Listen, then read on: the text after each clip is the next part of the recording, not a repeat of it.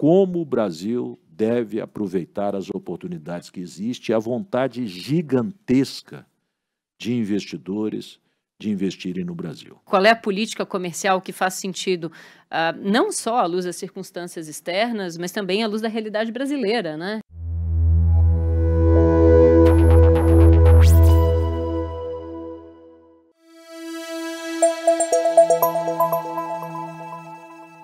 Aquilo que era visto como um grande benefício da globalização, a fragmentação de cadeias de valor, a possibilidade de se comprar mais barato, de quem produzia de maneira mais eficiente, cedeu espaço para preocupações associadas à resiliência de cadeias de valor, a, enfim, a exposição excessiva a determinados uh, mercados, a determinados produtos, ou seja, os riscos uh, realmente passaram a, a, ocupar mais atenção de todos. E eu acrescentaria aí também a clareza muito maior a respeito da emergência climática, né? Isso afeta também a política, política industrial, política comercial, mundo afora. É, e, enfim, traz repercussões também para o Brasil, mas também traz grandes oportunidades para o nosso país. Esse cenário internacional é, traz alguns riscos para o Brasil. É, vejam que nós temos, é, neste momento, o enfraquecimento da OMC, para começar, né? Uh, há uma corrida por subsídios mundo afora, né? e isso eu sinto que há, há, um entusiasmo de alguns com, uh, com esse ponto, né? o fato de que, enfim, há a retomada da participação do Estado na economia, o que sem dúvida é positivo, uh, mas precisa ser feito da maneira correta. E mais, e esse é o ponto que eu acho que às vezes é subestimado por alguns, o fato de que outros países com condições uh, muito maiores de subsidiar a sua produção estão fazendo com gosto, né, com convicção, uh, faz com que a competição internacional hoje se dê de uma maneira que não é exatamente a, a enfim, a, a, concebida no momento uh, em que as regras valiam. Né? Então, quando a gente pensa nos Estados Unidos, a combinação de investimentos em infraestrutura, mais CHIPS Act, mais Inflation Reduction Act, mais mudança de política comercial, é, ou seja, não é, não é trivial. Quando a gente pensa a China, né, que, enfim, é, é, a potência econômica que é, é, e que tem uma participação do Estado na economia da maneira como tem, ou seja, qual é o papel do Brasil nesse, nesse, nesse contexto.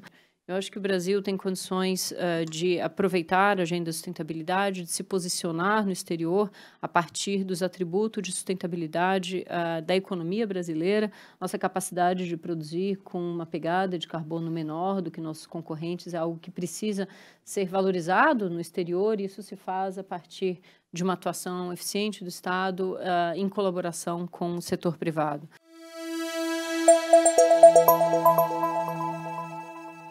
Brasil está, de certa maneira, estagnado nos últimos 30 anos, com alguns momentos de crescimento, crescendo muito menos do que a média do mundo. Até porque, se tivéssemos crescido nos últimos 30 anos a média que o mundo cresceu, e eu não falo a média dos países em desenvolvimento, a média do mundo, nós teríamos hoje uma renda per capita maior que a, Portugal, a de Portugal, ou seja, 23 mil dólares, né? e não os 8, 9 mil dólares. Precisamos recuperar o dinamismo da indústria. O Brasil ser parte da solução do mundo em duas das maiores, dos dois, dois dos maiores desafios que se apresentam para o mundo no momento. Em primeiro lugar, as mudanças climáticas e a necessária transição energética. E, em segundo lugar, a questão da segurança alimentar. Nós, da Fiesp, somos a favor de uma revisão da escalada tarifária brasileira e, inclusive, que as tarifas brasileiras sejam de fato colocadas num patamar que representem as reais tarifas praticadas, o que já significaria um corte de todas as tarifas é, de maneira sensível. Né?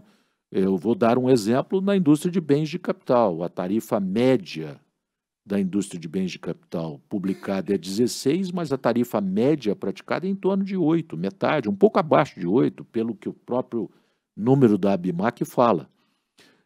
Mas uma indústria, como a indústria de bens de capital, ela precisa de aço, ela precisa de plásticos para poder produzir. Se ela tem uma tarifa de 7,7%, 8%, e as suas matérias-primas têm uma tarifa mais alta, é difícil que ela com, possa competir. Né? Então, essa revisão da escalada tarifária, eu acho que é fundamental. E eu acredito que sem uma indústria de transformação pujante que volte a crescer e que sirva de locomotiva do crescimento nacional, dificilmente nós teremos um país que crescerá às taxas altas absolutamente necessárias, inclusive para resolvermos os problemas sociais.